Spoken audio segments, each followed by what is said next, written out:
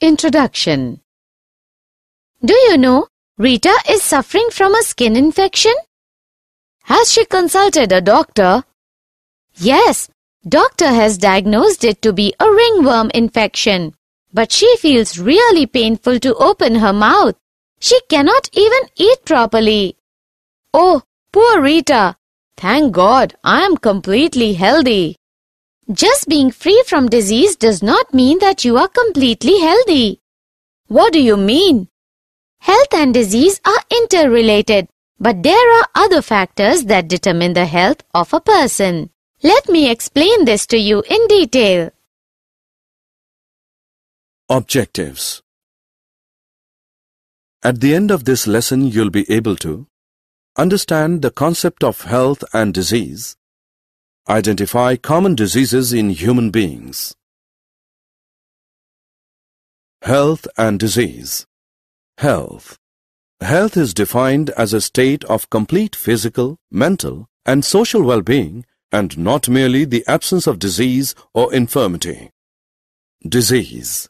Disease is defined as a condition of the living body or one of its parts that impairs normal functioning and is manifested by distinguishing signs and symptoms. Factors affecting health Factors affecting health can be broadly grouped as follows. Genetic disorders Deficiencies with which the child is born. Deficiencies defects which the child inherits from parents. Infections can be bacterial, viral, protozoal, fungal or other types of infections. Lifestyle. Food and water intake. Exercise and rest pattern. Other acquired habits. Factors necessary to maintain good health. Some of the important factors that are necessary for achieving good health are Balanced diet Personal hygiene Regular exercise Vaccination immunization, proper disposal of wastes, vector control, maintenance of hygienic food and water resources. Classification of diseases Diseases can be broadly classified as infectious diseases. Diseases which are easily transmitted from one person to another are called infectious diseases. Example, AIDS. Non-infectious diseases Non-infectious diseases are those diseases that are not caused by pathogen and cannot be shared from one person to another. Example, cancer. Pathogens Disease-causing organisms Disease-causing organisms are called pathogens. For example, bacteria, viruses, fungi, protozoans, helminths, etc. Pathogens invade the host, adapt themselves in the body of the host, multiply and interfere with normal vital activities, resulting in morphological and functional damage. Common human diseases Some of the most common human diseases are typhoid, pneumonia, common cold, malaria, amoebiasis, ascariasis, elephantiasis, ringworm infection. Typhoid Typhoid fever Cause Typhoid is caused by pathogenic bacterium Salmonella typhi. Infects the small intestine. Mode of transmission the bacterium is transmitted through contaminated food and water. Symptoms include sustained high fever 39 degrees Celsius to 40 degrees Celsius, weakness, stomach pain, constipation, headache, and loss of appetite. Complications In some cases, infection may result in intestinal perforations, Death. Diagnosis. Typhoid is confirmed by Widal test. Pneumonia. Cause. Pneumonia is caused by pathogenic bacterium Streptococcus pneumoniae and Haemophilus influenzae. Mode of transmission. The bacterium is transmitted by inhaling droplets, aerosols released by an infected person, by sharing utensils with an infected person. Mechanism of action The bacterium infects alveoli of the lungs. Thus, alveoli get filled with fluid leading to respiratory problems. Symptoms include fever, chills, headache, cough. Lips and fingernails turn gray to bluish in color.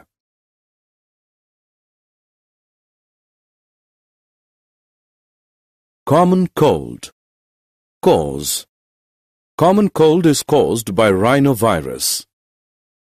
Mode of transmission The virus is transmitted by inhaling droplets, aerosols released by an infected person while coughing, sneezing. By using contaminated objects like pens, books, mouse, etc. Mechanism of action The virus infects nose and respiratory passage but not the lungs. Symptoms include nasal congestion and discharge, sore throat, hoarseness, cough, headache, fatigue. The symptoms usually last for 3 to 7 days. Malaria Cause Malaria is caused by Plasmodium, P. vivax, P. malaria and P. falciparum. Mode of transmission The Plasmodium is transmitted through the bite of infected female Anopheles mosquito. Mechanism of action The plasmodium multiplies within the liver cells and then causes rupture of RBCs with the simultaneous release of hemozoin responsible for the characteristic chill and high fever. Symptoms include chills and high fever recurring every 3 to 4 days. Fatigue.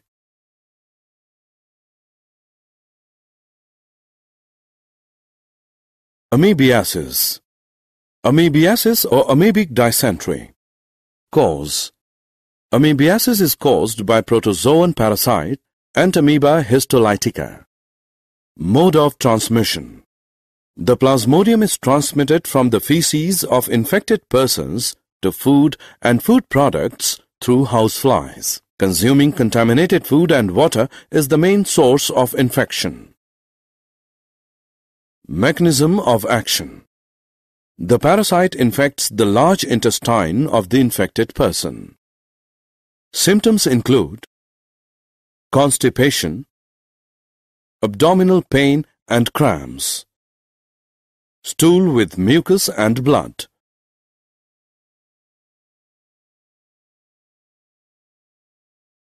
Ascariasis Cause Ascariasis is caused by roundworm Ascaris. Mode of transmission The parasite is transmitted through contaminated water, vegetables, fruits, etc. Mechanism of action The parasite infects the intestine of the infected person. Symptoms include internal bleeding, muscular pain, fever, anemia, Blockage of intestinal passage.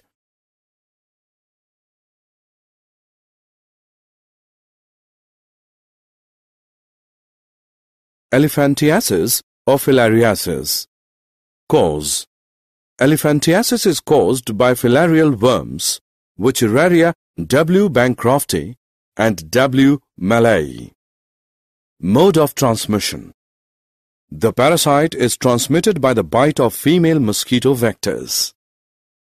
Mechanism of action The parasite slowly develops in the lymphatic vessels of the lower limbs and the genital organs. Symptoms include chronic inflammation resulting in elephant-like lower limbs, gross deformities of genital organs.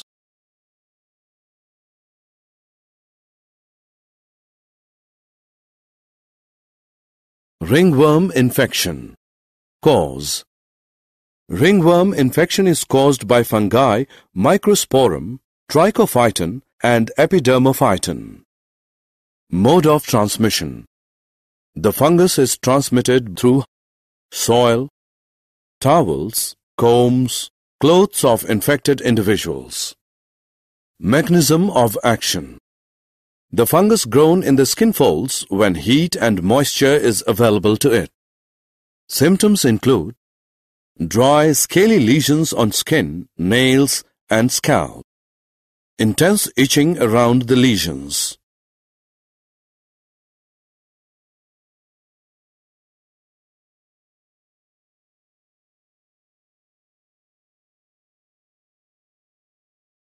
Prevention and control of infectious diseases.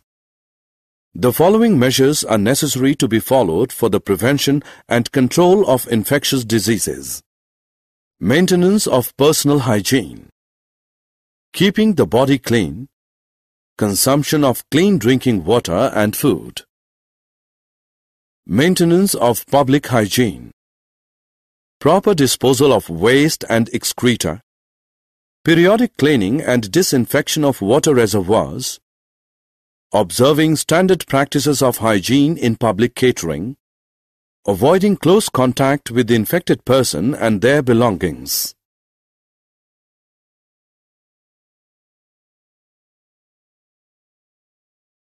Control, eliminate vectors and their breeding places. Avoid stagnation of water.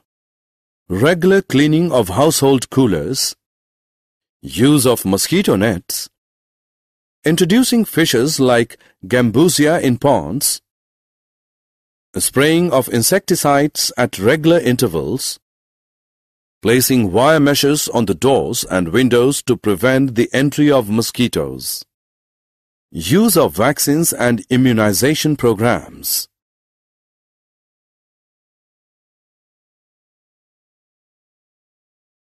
Did you know? Femtosecond laser can be used to detect hemozoin released by the malaria parasite in the human red blood cells. Hemozoin can be induced to emit optical pulses by using right wavelength. These optical pulses can destroy the DNA of parasite without harming the surrounding tissue.